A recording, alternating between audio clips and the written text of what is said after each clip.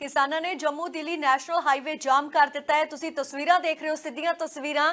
Police ਵੀ ਵੱਡੀ ਗਿਣਤੀ ਦੇ ਵਿੱਚ ਮੌਜੂਦ ਹੈ। ਬੈਰੀਗੇਡ ਜਿਹੜੇ ਨੇ, ਉਹ ਲਗਾਏ ਹੋਏ ਨੇ। ਕਿਸਾਨਾਂ ਦਾ ਹੱਲਾ ਬੋਲ ਸਰਕਾਰ ਦੇ ਖਿਲਾਫ ਤੁਸੀਂ ਦੇਖ ਸਕਦੇ ਹੋ। ਵੱਡੀ ਗਿਣਤੀ ਦੇ ਵਿੱਚ ਕਿਸਾਨ ਜਿਹੜੇ ਨੇ, ਸੜਕਾਂ ਤੇ ਉਤਰ ਆਏ ਨੇ। ਉਹਨਾਂ ਦੇ ਵੱਲੋਂ ਨਾਅਰੇਬਾਜ਼ੀ ਕੀਤੀ ਜਾ ਰਹੀ ਹੈ। ਤਸਵੀਰਾਂ ਦਾ ਰੁਖ ਕਰਦੇ ਹਾਂ। ਜੰਮੂ ਦਿੱਲੀ ਨੈਸ਼ਨਲ ਹਾਈਵੇ ਕਿਸਾਨਾਂ ਦੇ ਵੱਲੋਂ ਜਾਮ ਕਰ ਦਿੱਤਾ ਗਿਆ ਗੁਰਨਾਮ ਚੜੂਨੀ ਦੀ ਅਗਵਾਈ ਦੇ ਵਿੱਚ ਇਹ ਸਾਰਾ ਪ੍ਰਦਰਸ਼ਨ ਹੋ ਰਿਹਾ ਹੈ। ਦਰਅਸਲ ਸੂਰਜਮੁਖੀ ਦੀ ਫਸਲ ਤੇ ਫਸਲ ਜਿਹੜੀ ਹੈ ਐਮਐਸਪੀ ਤੇ ਖਰੀਦਣ ਦੀ ਮੰਗ ਕੀਤੀ ਜਾ ਰਹੀ ਹੈ। ਕਿਸਾਨਾਂ ਦੇ ਵੱਲੋਂ ਸਰਕਾਰ ਐਮਐਸਪੀ ਤੇ ਖਰੀਦ ਨਹੀਂ ਕਰ ਰਹੀ। ਜਿਸ ਤੋਂ ਬਾਅਦ ਕਿਸਾਨ ਰੋਸ ਦੇ ਵਿੱਚ ਨੇ। ਵੱਡਾ ਪ੍ਰਦਰਸ਼ਨ ਦੇਖਣ ਨੂੰ ਮਿਲ ਰਿਹਾ ਹੈ। ਜਿਹੜਾ ਹੈਗਾ ਜੰਮੂ ਦਿੱਲੀ ਨੈਸ਼ਨਲ ਹਾਈਵੇ ਕਿਸਾਨਾਂ ਦੇ ਵੱਲੋਂ ਜਾਮ ਕਰ ਦਿੱਤਾ ਗਿਆ ਸਿੱਧੀਆਂ ਤਸਵੀਰਾਂ ਤੁਹਾਨੂੰ ਦਿਖਾ ਰਹੇ ਹਾਂ।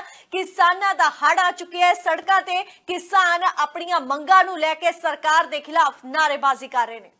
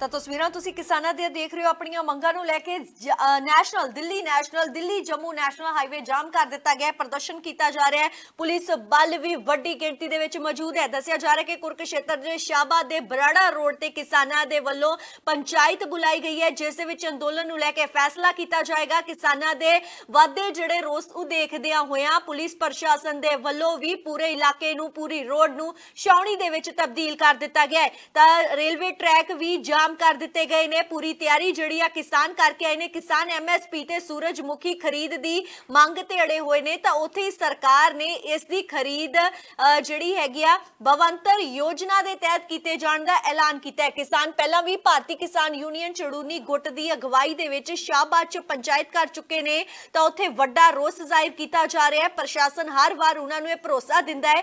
1 ਜੂਨ ਨੂੰ ਵੀ ਕਿਸਾਨਾਂ ਨੇ ਪ੍ਰਸ਼ਾਸਨ ਨੂੰ 5 ਜੂਨ ਤੱਕ ਦਾ ਅਲਟੀਮੇਟਮ ਦਿੱਤਾ ਸੀ, ਤਾਂ ਪ੍ਰਸ਼ਾਸਨ ਨੇ ਵੀ ਭਰੋਸਾ ਦਿੱਤਾ ਸੀ, ਪਰ ਅਲਟੀਮੇਟਮ ਖਤਮ ਹੋ ਚੁੱਕਿਆ ਪਰ ਹਾਲੇ ਤੱਕ ਵੀ ਉਹਨਾਂ ਦੀ ਜਿਹੜੀ ਫਸਲ ਦੀ ਖਰੀਦ ਨਹੀਂ ਕੀਤੀ ਗਈ ਐਮਐਸਪੀ ਦੇ ਆਧਾਰ ਤੇ। ਜਿਸ ਦੇ ਕਰਕੇ ਸ਼ਾਹਬਾਦ ਦੇ ਬਰਾੜਾ ਰੋਡ ਤੇ ਕਿਸਾਨਾਂ ਨੇ ਜਿਹੜਾ ਹੈਗਾ ਪ੍ਰਦੇਸ਼ ਪੱਧਰ ਤੇ ਜਿਹੜੀ ਹੈਗੀ ਆ ਪੰਚਾਇਤ ਬੁਲਾਈ, ਜਿਸ ਦੇ ਵਿੱਚ ਲੈ ਕੇ ਅੰਦੋਲਨ ਨੂੰ ਫੈਸਲਾ ਕੀਤਾ ਜਾਊਗਾ। ਪੁਲਿਸ ਦੇ ਵੱਲੋਂ ਬੈਰੀਗੇਡ ਲਗਾਏ ਗਏ ਨੇ। ਹਰ ਥਾਂ ਤੇ ਪੁਲਿਸ ਅਧਿਕਾਰੀ ਤਾਇਨਾਤ ਕੀਤੇ ਗਏ ਨੇ, ਤਾਂ ਜੋ ਕਿਸੇ ਤਰ੍ਹਾਂ ਦੀ ਵੀ ਕੋਈ ਜਿਹੜੀ ਹੈਗੀ ਆ ਸਥਿਤੀ ਖਰਾਬ ਨਾ ਹੋਵੇ। ਪ੍ਰਸ਼ਾਸਨ ਦਾ ਕਹਿਣਾ ਹੈ ਕਿ ਜਿੱਥੇ ਕਿਸਾਨਾਂ ਨੂੰ 4800 ਰੁਪਏ ਪ੍ਰਤੀ ਕੁਇੰਟਲ ਪਾ ਦਿੱਤਾ ਜਾ ਰਿਹਾ ਹੈ ਉੱਥੇ ਹੀ ਬਵੰਤਰ ਯੋਜਨਾ ਦੇ ਤਹਿਤ 1000 ਰੁਪਏ ਦਿੱਤੇ ਜਾਣਗੇ।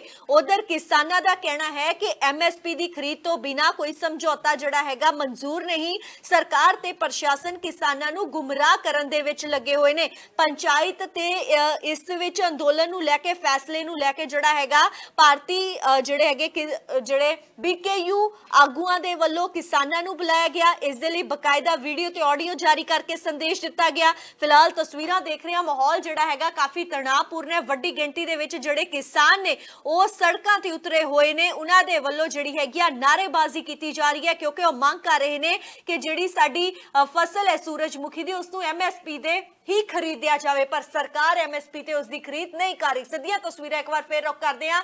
ਗੁਰਨਾਮ ਸਿੰਘ ਚੜੂਨੀ ਦੀ ਅਗਵਾਈ ਦੇ ਵਿੱਚ ਜਿਹੜਾ ਹੈਗਾ ਦਿੱਲੀ ਜੰਮੂ ਨੈਸ਼ਨਲ ਹਾਈਵੇ ਜਾਮ ਕਰ ਦਿੱਤਾ ਹੋਇਆ। ਨੈਸ਼ਨਲ ਹਾਈਵੇ ਤੇ ਅੱਜ ਕਿਸਾਨ ਹੀ ਕਿਸਾਨ ਨਜ਼ਰ ਆ ਰਹੇ ਨੇ।